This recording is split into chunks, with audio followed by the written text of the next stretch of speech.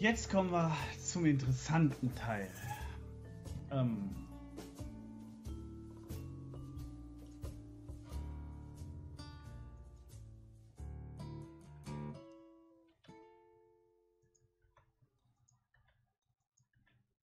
Und zwar muss ich mir noch merken, was Peter, Petra, Vogelbecher und Adrian für Obst, oh, Obst sage ich schon, Gemüse haben wollen. Also frage ich sie nochmal. Wie schön. Fragebecher. Lilly wollte nicht noch einen Streit provozieren. Zum Glück hatte sie sich alles gemerkt. Adrian wollte Tomaten, aber keine Blaubeeren. Petra mochte Brokkoli, aber keine Tomaten. Droggelbecher hatte Hunger auf Banane, stellte sich aber beim Brokkoli quer. Und Peter wünschte sich Blaubeeren, hatte aber etwas gegen Banane. Das würde knifflig werden. So, das wird jetzt.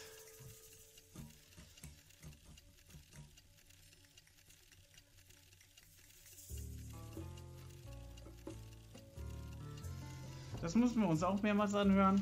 Wie schön. Fragebecher. Lilly wollte nicht noch einen Streit provozieren. Zum Glück hatte sie sich alles gemerkt. Adrian wollte Tomaten, aber keine Blaubeeren. Petra mochte Brokkoli, aber keine Tomaten. Droggelbecher hatte Hunger auf Banane, stellte sich aber beim Brokkoli quer. Und Peter wünschte sich Blaubeeren, hatte aber etwas gegen Banane. Das würde knifflig werden. Ja. Nochmal.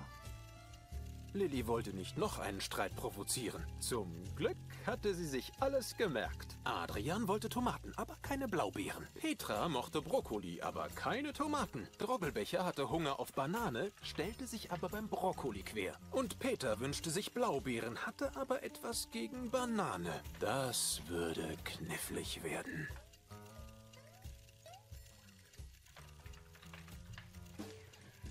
So. Das kann ja jetzt lustig werden. Okay. Also, Peter mag Blaubeeren, hat eine Rot-Grün-Schwäche, ne? Adrian mag keine Blaubeeren, hat eine Rot-Gelb-Schwäche. Also, rote Blaubeeren?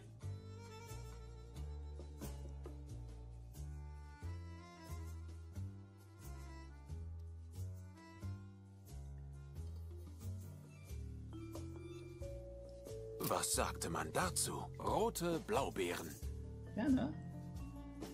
Trockelbecher will Bananen, aber kein Brokkoli, ne? Aber Peter möchte keine Banane. Peter möchte keine Banane, Trockelbecher möchte Banane. Dann machen wir die Banane grün. Grüne Banane.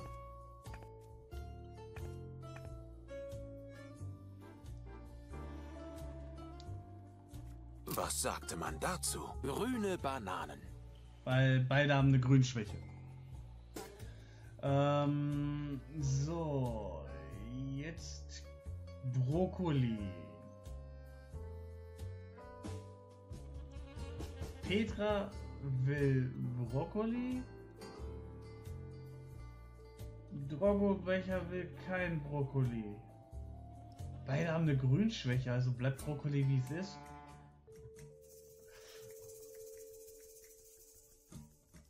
Also können wir mal ausprobieren.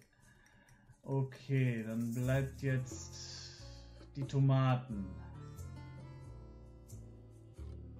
Petra mag keine Tomaten. Dann machen wir gelbe Tomaten aus.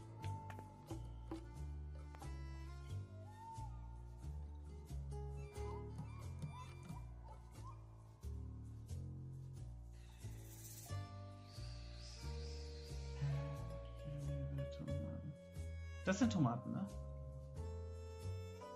Was sagte man dazu? Gelbe Tomaten. So, und jetzt...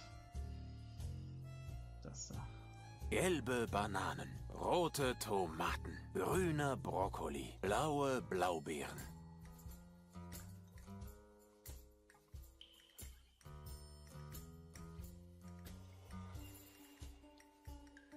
Rote Blaubeeren,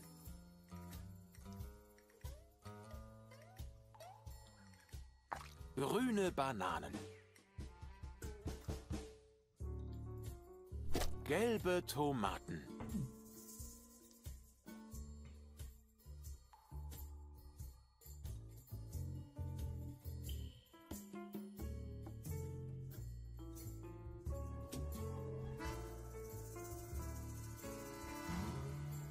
Können wir Brokkoli blau machen?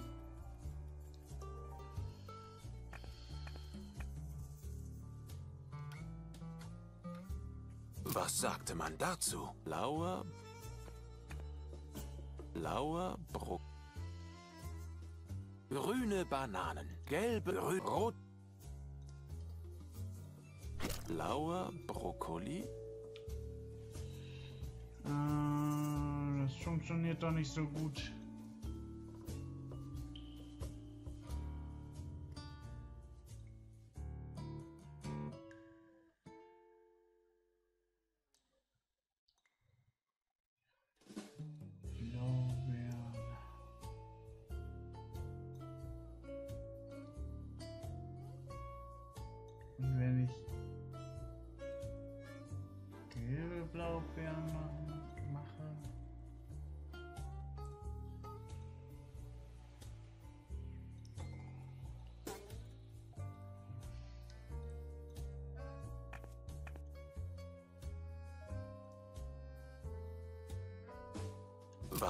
Gelb? Gelbe... Die Wäschmann. Das ist schon knifflig. Grüne Bananen. Gelblau, rot. Gelbe Blaubeeren. Gelbe Blaubeeren.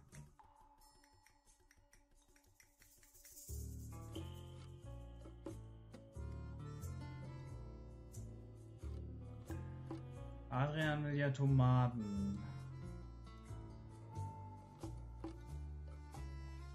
Was ist, wenn wir sie grün machen? Die Tomaten.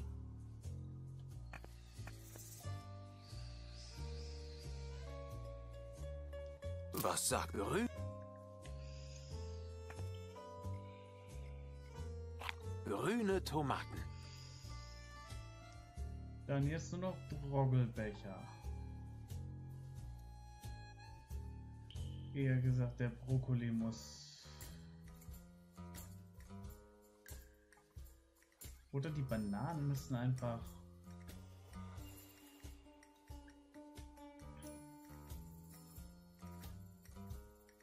blau gemacht werden. Schon mal was? Nein.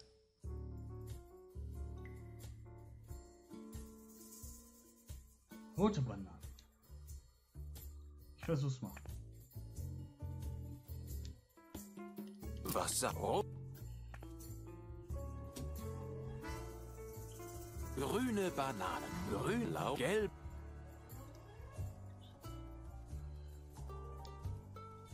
Rote Bananen. Jeder ist glücklich und zufrieden.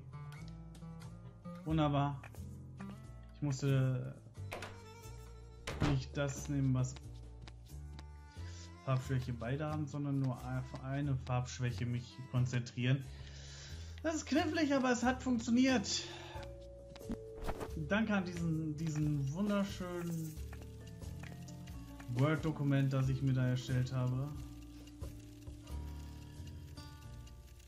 Ah, die Pizza. Wohlan. Hm, vortrefflich, vortrefflich. Toll! Ich wünschte, ich könnte auch so gut Würdet ihr das noch essen wollen? Rogelbecher. Und Peter ist auch zufrieden. Zufrieden? Wie kann ich in so einer Welt zufrieden sein, in der die einzigen lebenswerten Momente darin bestehen, dass die Pizza nicht falsch belegt wurde? Das heißt ja. Wir stehen in deiner Schuld. Peter wäre fast verhungert. Nicht so schlimm. Ich habe ohnehin schon die Hoffnung aufgegeben, in Würde zu sterben. Rogelbecher. Wohl gesprochen. Nun, da die Verköstigung gewährleistet ist, lasset uns das Spiel beginnen. Möchtest du nicht mitspielen, Kleines? Du wirst sehen, es macht einen riesen Spaß. Wenn man Freude an exzessiver Selbsterniedrigung hat. Das und ein Würfelbecher. Brockelbecher. So sei es. Dann folge uns nun in die Welt von Hot Motigor. Eure Gruppe hat ihr Lager unweit der berüchtigten Koboldklamm aufgeschlagen. Lilly fand sich auf einer Lichtung wieder. Das Lagerfeuer prasselte und der Wind pfiff durch ihre Kleidung. In der Ferne hört ihr die Kriegstrommeln der Kobolde. Es ist eure letzte Rast vor der großen Schlacht. Lilly hörte tatsächlich Trommeln. In den nahen Bergen schien eine gewaltige Armee auf sie zu warten. Sag mal, erzählst du die Geschichte oder ich? Was? Es ist nur, ich sehe keinen Spielleiter-Sichtschutz bei dir. Und ich glaube mich zu erinnern, dass man den Rollenspielmeister an seinem Spielleiter-Sichtschutz erkennt. Das ist doch lächerlich. Ich bin der Erzähler. Ich brauche keinen. Na, dann leite du doch die Rollenspielrunde. Ich bin gespannt, wie du das anstellst. So ganz ohne Kampfwerttabellen und Quellenbücher. Was? Das ist doch. Das hab ich mir gedacht. Und jetzt Rückwahl. Autsch. Hey! Du, du kannst doch nicht. Wo war ich? Ach ja, ihr seid im Auftrag des Königs unterwegs, um die Klamm von den Kobolden zu befreien. Man erzählt sich, dass die Kobolde den rosaroten Fluss gestaut haben. Dadurch wurde die wichtigste Gedenkstätte Hot Motigors in einen Stausee verwandelt. Das Tal der unbequemen Erinnerungen. Außer eurer Gruppe sitzt noch der geheimnisvolle Ortskundige am Lagerfeuer. Ihr seid müde von der Reise. Der Aber an Ortskundige, Schlaf den ist kennen nicht zu wir denken. doch hier. Überall könnten Speer der Kobolde lauern. Die Schwarzmagierin Petrulla, der edle Sir Drogelot und der lustige Gaukler Schnippo Ich will eine andere Rolle haben. Sammeln ihre Kräfte für den Kampf. Nur die amazonische Barbarenkriegerin Ja. Das bist du. Nur die amazonische Barbarenkriegerin Lillegrim ist voller Unlust. Es ist deine Aktion. Lillegrim, was tust du?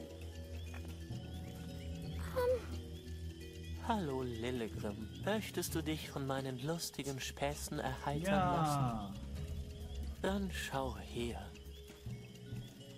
Und schon amüsiert. Wow. Äh, Angriff.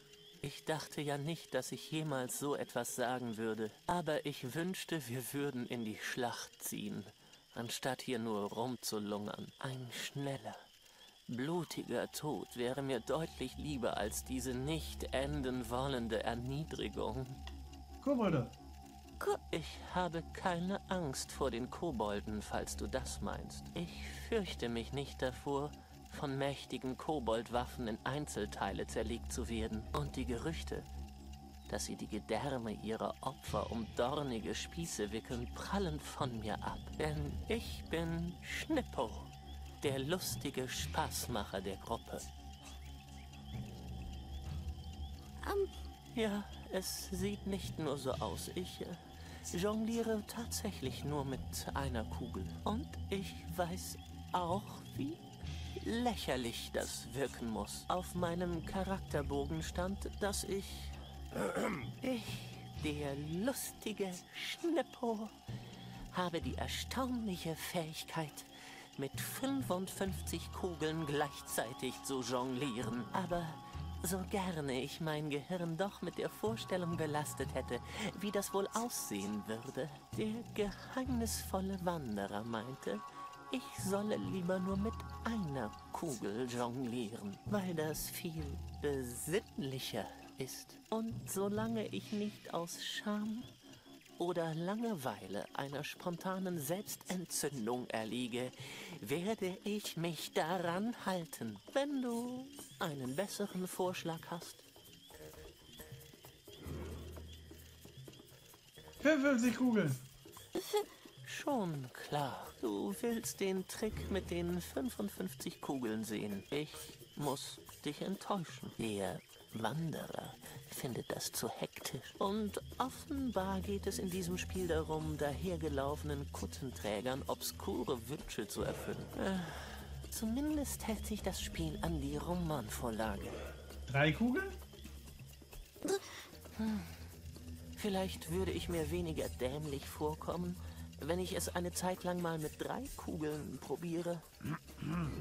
Andererseits, ich bin ein Clown namens Schnippo.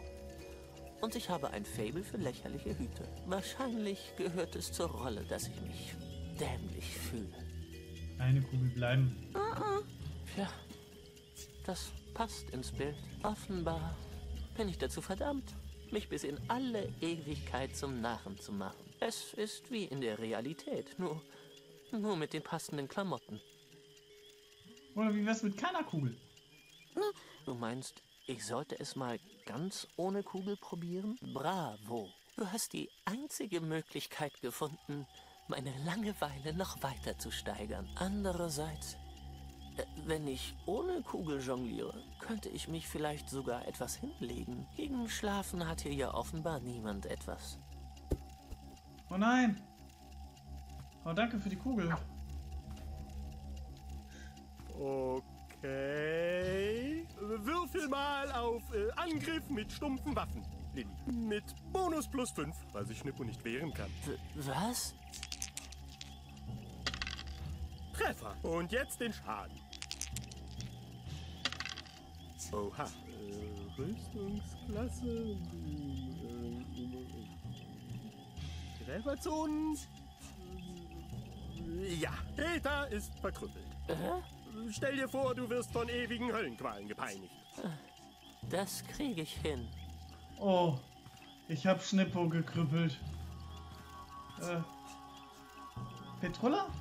Petrulla saß am Feuer und beobachtete den Teekessel.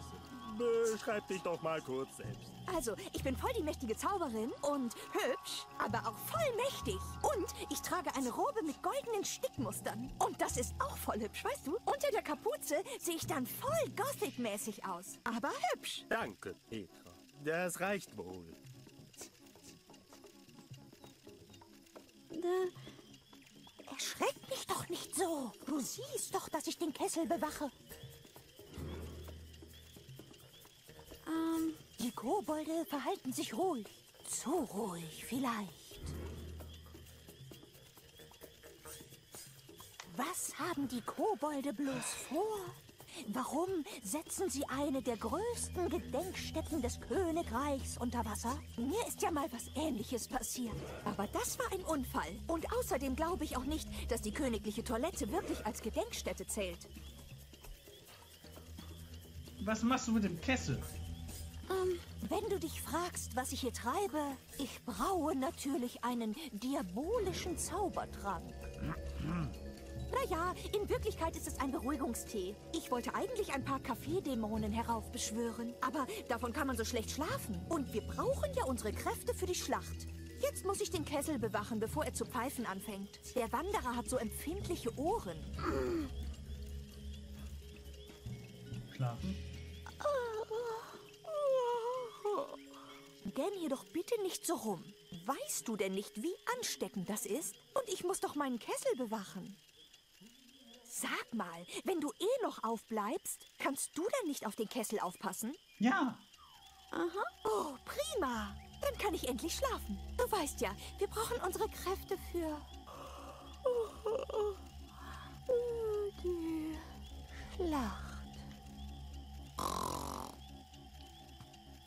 Die Kugel beginnt in meiner Nähe magisch zu leuchten. Oh. Nein, tut sie nicht. Wird sie brennend heiß? Nein. Wäre aber auch gut.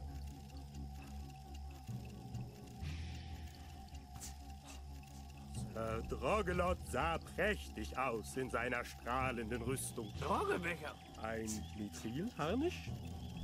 Wirklich? Drogebecher. Ja gut. In seinem Mithrilharnisch. Hallo Lillegrim. Bist du immer noch auf den Beinen? Du solltest dich reden. ausruhen. Ich halte Wache und pass auf, dass das Feuer nicht ausgeht. Jetzt schau mal nicht so grimmig. Dein Tatendrang ehrt dich zwar, aber der geheimnisvolle Wanderer hat recht. In der Ruhe liegt die Kraft. Lillegrim hätte den tapferen Sir Drogelot am liebsten angebrüllt. Sie war sicher nicht den ganzen Weg zur Koboldklamm gereist, um zu schlafen. Doch etwas hielt sie davon ab, die Kontrolle zu verlieren. Wütend wandte sie sich von ihrem Gefährten ab. Ihr Blick fiel auf den stillen Wanderer, der das ganze Gespräch mit angehört hatte. Hatte sie da ein Schmunzeln unter der Kapuze gesehen? Angriff. Ich weiß ja, was du sagen willst. Du bist zum Kämpfen hier und nicht zum Rasten, stimmt's? Vielleicht sollten wir doch noch heute Nacht. Die Ruhe bewahren und unsere Kräfte sammeln. Das wolltest du doch sagen, oder? Der Wanderer hat recht. Überstürztes Handeln hat noch nie einen Vorteil gebracht. Keine Angst. Die Kobolde werden uns heute Nacht bestimmt nicht mehr Sicher? angreifen. Sie bewachen ihren Staudamm in der Klamm. Ich frage mich allerdings, was sie vorhaben. Den rosaroten Fluss zu stauen und dadurch das Tal der unbequemen Erinnerung zu überfluten. Wozu? Das alles ist sehr rätselhaft. Machst du dir Sorgen um das Feuer? Hm. Normalerweise würde ich dir recht geben. Die paar Scheite reichen bei weitem nicht aus, um das Feuer die ganze Nacht in Gange zu halten. Außerdem passieren immer die tollsten Sachen, wenn man sich bei der Suche nach Feuerholz in den Wald schlägt. Man findet Schatzkarten, fällt in verwunschene Brunnen Krieg ich den oder auch zum Schlafen? Händler mit magischen Amuletten. Vielleicht sollte ich Ein wenig entspannen und es für heute gut sein lassen? Das war es doch, was du sagen wolltest, oder? Der Wanderer hat recht. Es muss ja nicht immer was passieren. Und die Nacht ist ja recht warm. Ich warte nur noch, bis der letzte Scheit ins Feuer muss. Dann gehe ich auch schlafen.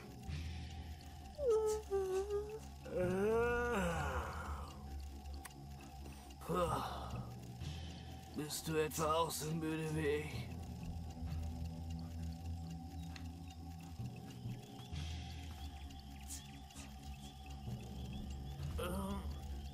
Droggelbecher? Nein, nicht mit der Rüstungsklasse. Nein, danke, Lillegrim. Behalt die ruhig.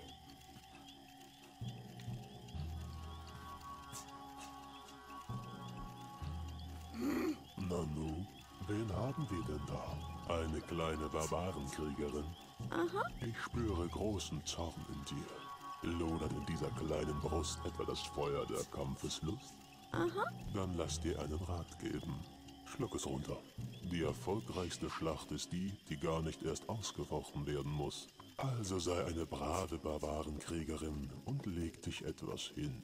Lillegrim konnte kaum glauben, was sie da hörte. War dies nicht ein Fantasy-Rollenspiel? Wo war denn der Spaß dabei, sich vorzustellen, tatenlos um ein Lagerfeuer zu sitzen? Lillegrim dachte gar nicht daran, den einlullenden Worten des geheimnisvollen NPC nachzugeben. Wenn überhaupt, machte sie das alles nur noch wütender. Zu dumm, dass es ihr nicht erlaubt war, die Beherrschung zu verlieren. Nur allzu gern hätte sie diese wandelnde Schlaftablette in Grund und Boden geprüft. Denk an meine Worte. Die erfolgreichste Schlacht ist die, die gar nicht erst ausgefochten werden muss. Also sei eine brave Barbarenkriegerin und leg dich etwas hin. Du kannst auch noch morgen hier aufräumen. Leg dich ruhig hin. Für heute hast du genug getan. Die vermummte Gestalt saß schweigend am Lagerfeuer. Komisch. Ich kann mich gar nicht daran erinnern, dass die im Abenteuer vorkam. Aus welchem Sourcebook stammt die denn? WB Musi. Das Lagerfeuer prasselte atmosphärisch. Wo ist denn nur Ade? Ich hatte extra eine CD mit Lagerfeuerprasseln gebrannt. Ich muss sie im Feuer gelassen haben. Stellt euch das Prasseln einfach vor. Prassel, prassel, prassel. Du versuchst, die Kugel über dem Feuer zu rösten. Das dauert eine Weile. Peter ist dran. Was? Aber Schnippo schläft doch schon längst. Ach ja, die Kugel zu rösten hat nichts gebracht. Streich dir mal drei Stamina-Punkte weg. Was? Du siehst einen großen Zauberkessel. Mach mal einen Wurf auf Ansehen. Klöter, klöter, klöter, blöd. Du entdeckst ein Sicherheitsventil.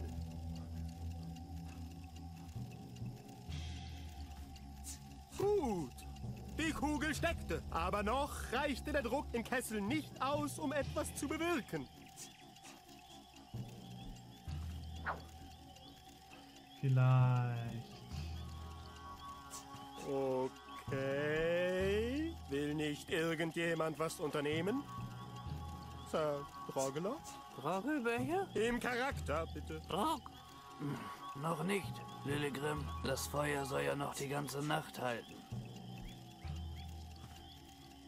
Sei bitte sparsam, das Feuer. Leg dich ruhig, pass. Mach dir keine Sorgen um das Feuer. Ich bleibe wach, bis das letzte Holz verbrannt ist. Mach dir keine... Ich bleib...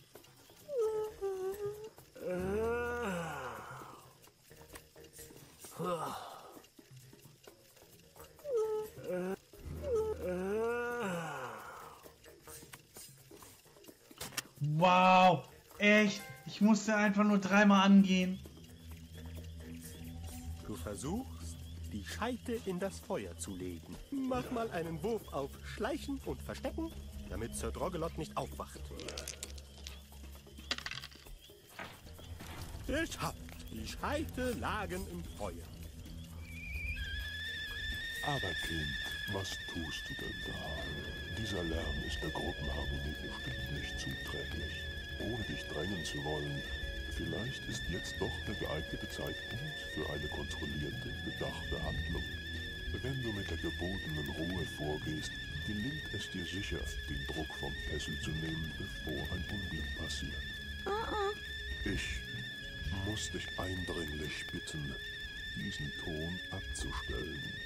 Siehst du nicht, dass du die ganze Idylle zu zerstören drohst?